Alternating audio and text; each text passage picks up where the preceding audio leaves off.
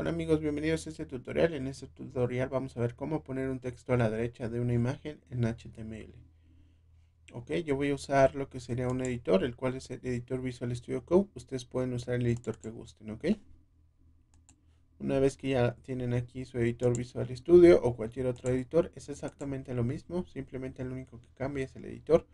Pero para aquellos que lo quieran instalar, pueden ir directamente aquí a la página Visual Studio Code entran directamente y aquí le dan en download. Lo descargan, le das next, next, next y se instala eh, como cualquier programa de Windows normal.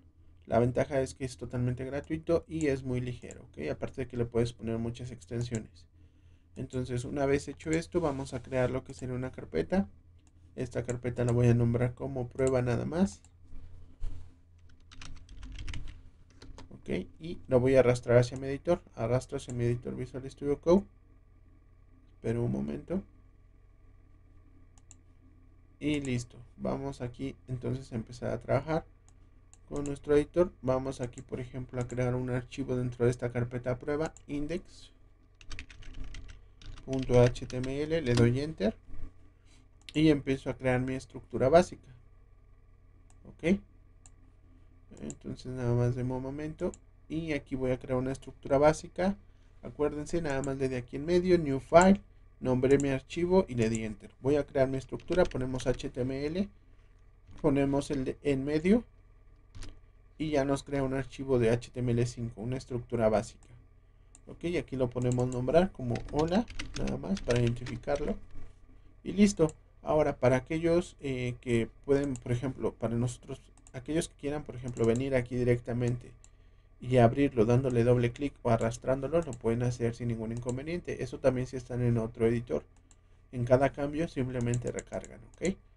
Y no hay ningún problema, se estarían viendo los cambios. Por ejemplo, aquí ponemos un H1 y ponemos un hola, guardamos, recargamos y aquí va a aparecer.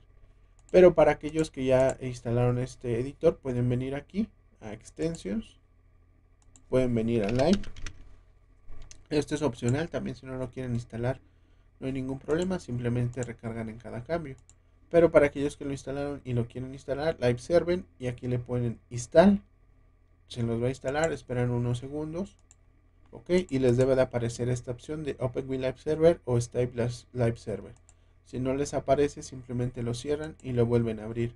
Ok, ¿para qué es esto? Pues simplemente cada vez que le dan Open with Live Server, les va a abrir un servidor local como a mí. Este servidor local, nada me cierran aquí, yo lo voy a abrir aquí.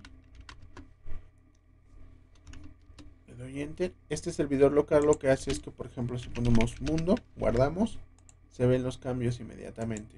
¿Ok? Es la ventaja de este editor. Entonces, ¿qué vamos a hacer ahora? Vamos a ocultar aquí en Explorer, le damos a dar clic. Vamos a hacer más pequeño esta parte. Y aquí ya estoy viendo los cambios en tiempo real. Es la ventaja de eso. Entonces, ahora ya vamos a empezar a crear nuestra estructura. Vamos a crear, por ejemplo, un div. Este div va a contener tanto mi texto como mi imagen, ¿ok? Entonces voy a poner un div y voy a mandar a llamar una imagen, ¿ok? Voy a poner una imagen, voy a llamar una imagen aquí directamente. Yo ya tengo una, aquí nada más le voy a poner de nombre img ustedes van a nombrar, bueno, van a mandar a llamar su imagen como, como la tengan. Yo aquí ya la tengo y aquí pueden verificar que ya está aquí directamente. Voy a poner este div y voy a crear, por ejemplo, aquí img.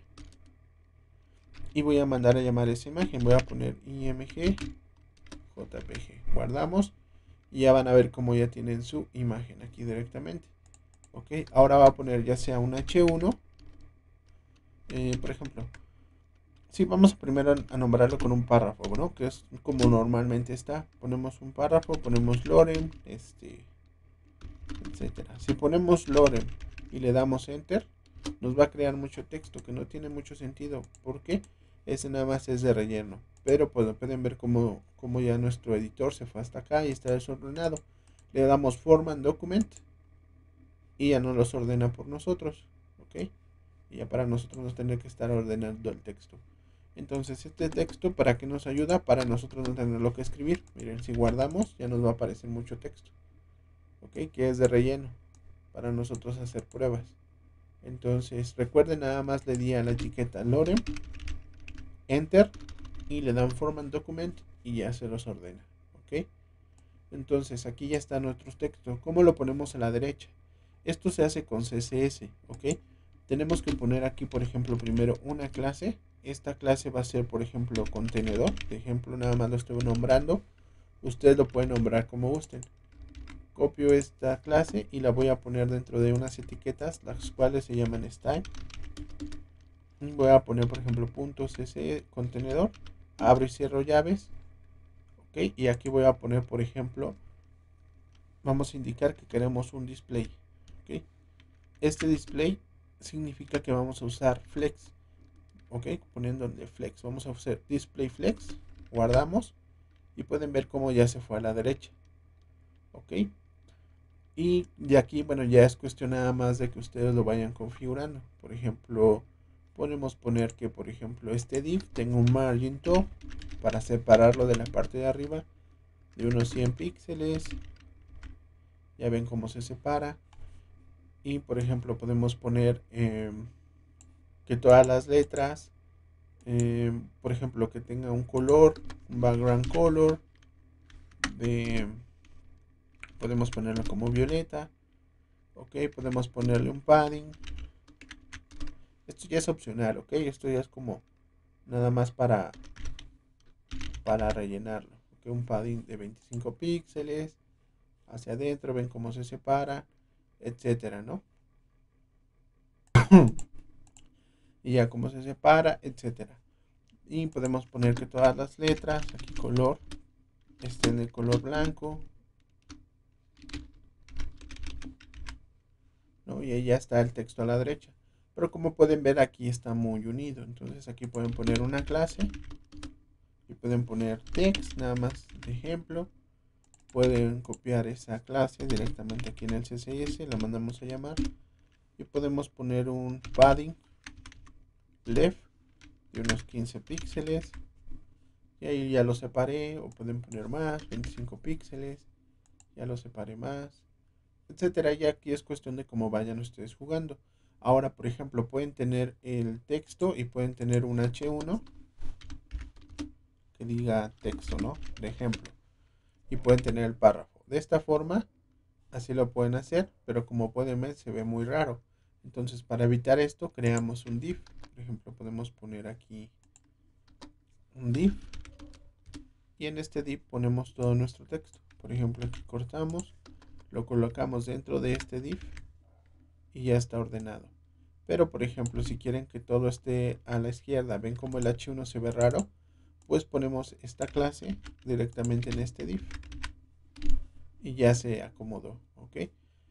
Como pueden ver, nada más puse un div que es el contenedor, puse mi imagen, puse otro div y este div contiene mi h1 y mi párrafo, ¿ok? Por si tienen un, un título y un párrafo. Pero si nada más tienen un párrafo, pues simplemente pueden hacerlo como lo hicimos ese rato, nada más sacándolo de aquí y poniéndolo así. Quitamos esto y de igual forma ya funciona, ya nada más es cuestión de ponerle una clase e irlo acomodando. Pero yo lo voy a regresar como estaba con control Z, como aquí, porque muchos lo van a querer tener así. Ok, y ya nada más aquí ponen el texto y ya todo el texto que vayan poniendo aquí ya no afecta directamente, ok, y se ordena.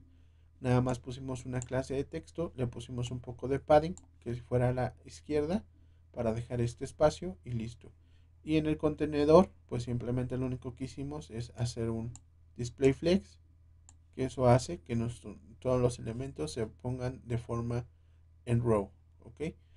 Entonces, les espero les haya servido. También para aquellos que tengan, por ejemplo, el archivo en otro, en un archivo independiente, por ejemplo, aquí está .css lo pueden hacer aquí igual de igual forma nada más hacen lo mismo copian sus clases.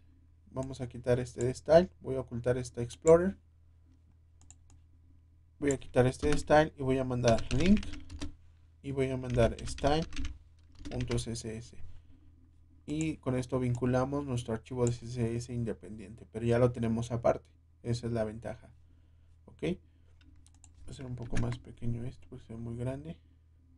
Y aquí para que vean bien la estructura por si se quedaron atrás lo puedan pausar y puedan este hacerlo ok entonces recuerden y de esta forma es como lo podemos hacer. También pueden tener la imagen dentro de una carpeta que es también como muchos lo pueden tener.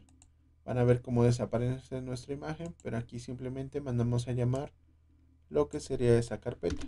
Ponemos es este img diagonal img guardamos y nos aparece ya nuestra imagen otra vez pero si estuviera en una carpeta. Entonces espero les haya servido y gracias por ver el video. No se olviden suscribir al canal